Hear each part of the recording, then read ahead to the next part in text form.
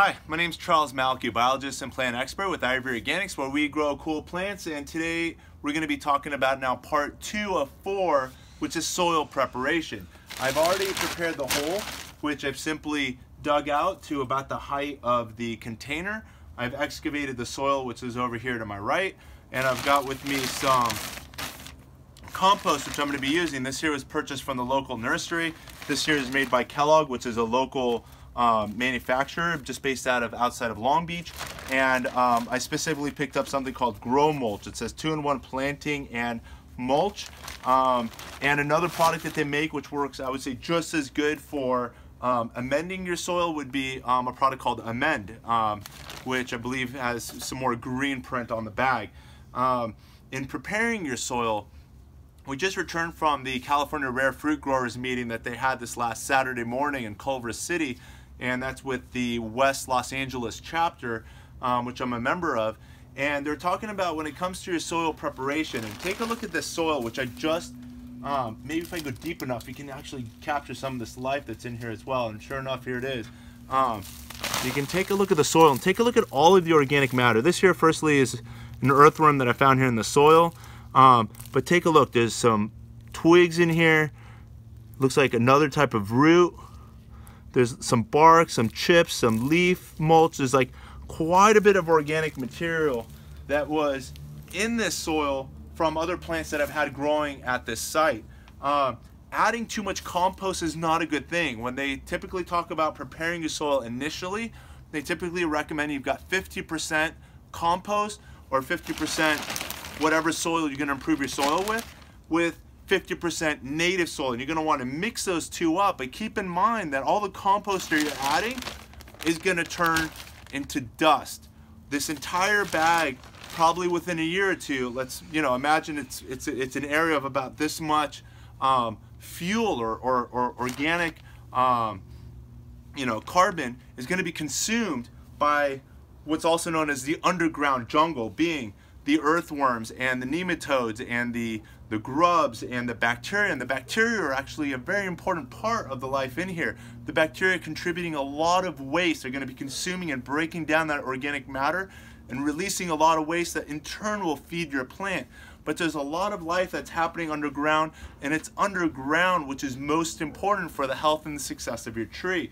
So when you're adding a 50% native to 50% compost mix, keep in mind that the plant may settle some, and with that, make sure that when you plant your plant, you keep it at least uh, you know, about an inch above the soil level to account for some of that settling while the roots get established and settled within its growing height and growing zone.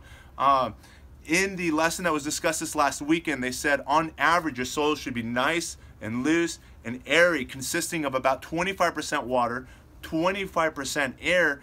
The other almost 50% is just minerals, which is your soil, whether it be sand or silt or clay, but that's your base. And then within it is only about 5% organic material. Now, organic material should be natural and basically recycling itself within you know, the canopy of the tree that's dropping its leaves to the ground and enriching the soil naturally, which is ultimately the goal of this garden, is to create something called permaculture, which is where you've got a permanent recycling of nutrients and health happening within the soil naturally. Um, what we're going to do here real quick is we've just excavated the soil here. We're now going to take the soil. Um, I've probably added quite a bit, but I'm also going to be taking this horrible soil as well. Take a look at all this clay. My soil is so good, I've had to go and find some of the worst parts of the garden to make sure that this tree doesn't settle also within the ground. So here we go. We're adding a lot of clay, you know, and some gravel, you know, to this as well to basically improve the texture and to make sure that the plant doesn't truly settle with all of this organic material that's already naturally in our soil, having improved it over the last three years now. What we're gonna do is we're now gonna mix the contents.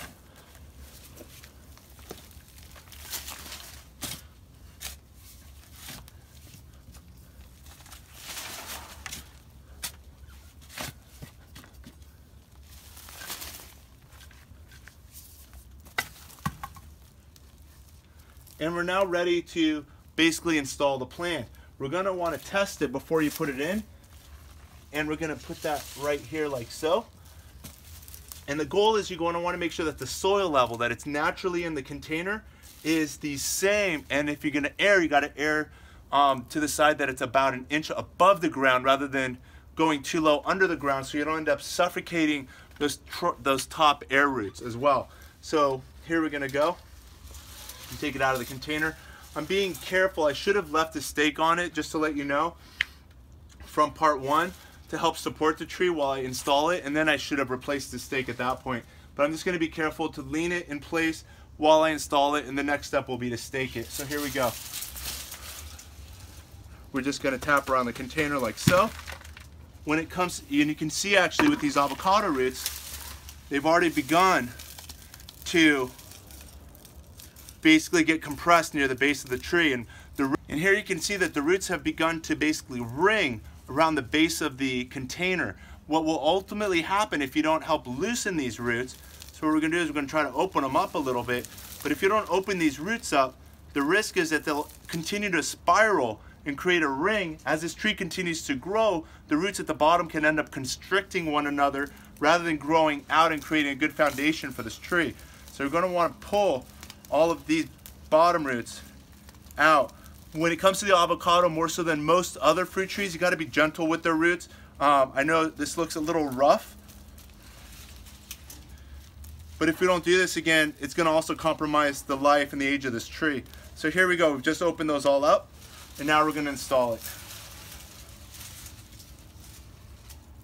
And then we can backfill the soil.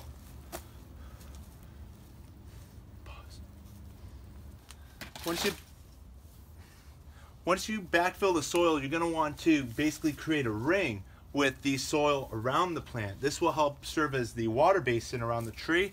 And this here was our irrigation, which is going to be step four is to talk about watering. And we're going to demonstrate that in just a minute um, or in our last segment. And what we're going to do now is we're going to, once you backfilled all the soil, make sure you go in with your fingers and you're going to want to press around the area where the container was to basically eliminate as many air pockets as you can. We'll continue this process also throughout watering to make sure we further collapse any air around the soil. What we can also do is we can also feed the soil as well. And over here are a few products that I want to share with you as well to continue feeding. I'm just so surprised about how much life is in here, but just right here on the surface, within a couple of inches of one another, I found three more earthworms. Look at all that life that's right there. But again, it's not so much the things you see as the things that you don't see that are underneath the ground. And that leads to my next point is feeding your plants. We just discussed again all of these whitewash products, the difference between our IV Organics whitewash as well as our 3-in-1 in the part 1, as well as the ready-to-use spray. But over here I've got a whole bunch of organic products. The first one here made by Espoma, um, another one here made by Kellogg's, and a third one here made by Eco Scraps. And these are all good, and I've also got some ready, you know, liquid feeds, and uh, another one that may look familiar, You've seen on the shelf, the fish fertilizer, and then um, even Miracle-Gro has some organic products as well. This one here specifically made out of bone meal. Uh, a more balanced fertilizer such as this here made by Eco Scraps is a 555. The goal is I want to make sure this plant has all the elements possible to feed the tree. Let's take a look at some of the ingredients that are in here that constitute an organic product. And if you take a look here, we can clean it up a little bit. It says that it's derived from feathers and blood and bone and then sulfate of potash and some compost. So, and also with these numbers, it reads 555, being 5% nitrogen, 5% phosphorus, and 5% potassium. Um, what we're gonna do is we're going to just sprinkle without even reading the directions. The goal is this soil is already so far enriched. It's at the beginning stages of life. Um, we're now in October. Fortunately, here in California, we've got about another month or two of growing opportunity. So hopefully we get a little bit of growth out of this before it goes into winter where it'll go dormant, still be green as an evergreen, but there won't be much activity on the plant until come January, February of next year. So we're going to just sprinkle some product around the tree. I probably added about a quarter cup of product. We're going to just disturb the top quarter inch of soil to get that product down into the soil area. And just to let you know, most of the research supports the fact that most of the life of the tree is in the top 18 inches. So don't be too concerned about how deep you go as much as you should be concerned about caring for that upper surface area underneath the canopy of your trees. Right now, being that we've got a small canopy, there's only a small area that you've got to feed and be concerned about. But going forward, you're going to have to water a larger area, feed a larger area, and care for a larger area being as far as the plant's canopy reaches. So now we've just fed the soil, and the last thing we're going to do to help strengthen the trees, we're going to support it. And adding a stake is a great idea, um, especially in the first year and possibly even going into the second year until the wood within the plant gets strong enough to support its its you know its height. And even as the plant grows you may want to prune the plant down to control the shape and the size of the tree and that'll also further strengthen the plant and further strengthen the, the the maximum load the avocado as well as any other fruit tree can support the load bearing weight of the tree. So we're going to basically take our stake here. We're going to go about a couple of inches away from the root ball. And we're just going to push that in when tying the tree in place, simply take your twine and tie it against the stake. Do not tie a knot against the tree trunk as again, that'll constrict the flow of the water and the sugars in the plant.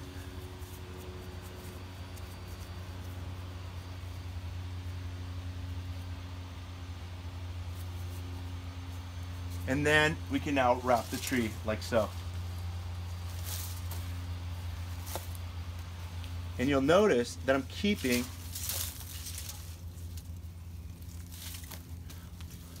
I'm keeping a distance of about one to two inches so there's some sway. By allowing the plant to move some, that would also strengthen the, the supporting structures of the tree. So um, do allow it to move some as it gains its strength and that'll help make the plant even stronger going forward. I've also kept a couple of inches to allow for the tree to grow. All too many times, I leave enough room, but sure enough, within six months or eight months, the tree trunk is so large that it's constricting against the, the twine as well as the stake. So um, do periodically check on your trees. Do make sure that um, if you've got to restake and resupport it, you do so. And then we can cut off the excess string um, once you get a chance. And now take a look at the leaves again one more time. If you're coming a little closer, you can see that the IV Organics that I've sprayed on the leaves have since dried. And you can see it's created a nice light film to help keep the plant stay several degrees cooler in this um, on this bright sunny October morning. That basically brings us to the conclusion of part two. Let's re-review again the list. We did part one, why whitewash or paint your trees, branches, and leaves. Um, we just talked about soil preparation and a healthy organic soil equals maximum healthy and productive trees. Um, part three is going to be irrigation, which will be mimic the rain systems our best. Part four is compost piles between trees and mulch will feed the underground jungle. And before I let you go, we just talked about all of these organic products, but I forgot to mention, uh, even though Miracle-Gro has some organic products, a lot of consumers are still picking up chemical products. Even some of my neighbors would sometimes call me and say, well, what do you think about this product? Even other products on the shelf, not just Miracle-Gro, that are chemically based. Um, let's take a look at what a chemical ingredient based product will look like. You're going to see that it's derived from ammonium nitrogen, urea nitrogen. Um, here it is, derived from potassium sulfate, ammonium sulfate, urea, copper, sulfate, iron EDTA, magnesium EDTA, and zinc sulfate. Completely different ingredients than these products that are derived from bone meal, blood meal, feather meal, and all these other things that are organic sources. When you do things chemically, you're still getting some elements from the periodic table that your trees need, but you're doing nothing, absolutely nothing to feeding the underground jungle. You're not feeding the earthworms, you're not feeding the beneficial bacteria, you're not feeding all of the soil biology that in turn is creating a more balanced and more sustainable um, environment for creating the most healthy plants and trees within your garden. By doing things organically, you're also um, minimizing the risk of waste and runoff because as much as some research will say as much as 90% of your chemical fertilizers end up in the storm drains and runoff and ultimately into our streams, rivers, and oceans. Um, whereas if you're doing things organically, again, the amount of Let's take a look at the percentages on this. We just talked about how most of these organic fertilizers are low on percentages, as low as 555. But a chemical fertilizer can offer you so much more when it comes to percent of elements. I'm trying to find this here for you. Um, I found it here, but there's got to be a better way to present it right there. 18, 24, 16, 18% nitrogen, 24% phosphorus, 16% um, potassium. So we've got double, triple, quadruple more elements available to your plant, but as we just discussed, it's doing very little to nothing and potentially even harming the soil biology. So if you're gonna do things organically in your organic garden, I gave you a lot of choices and options when it comes to organic growing. So I hope you found this part two informative and educational, and if so, be sure to like it. And most importantly, by subscribing below, you'll be connected to this and all of our other educational and gardening videos. Thanks again for watching, and happy gardening.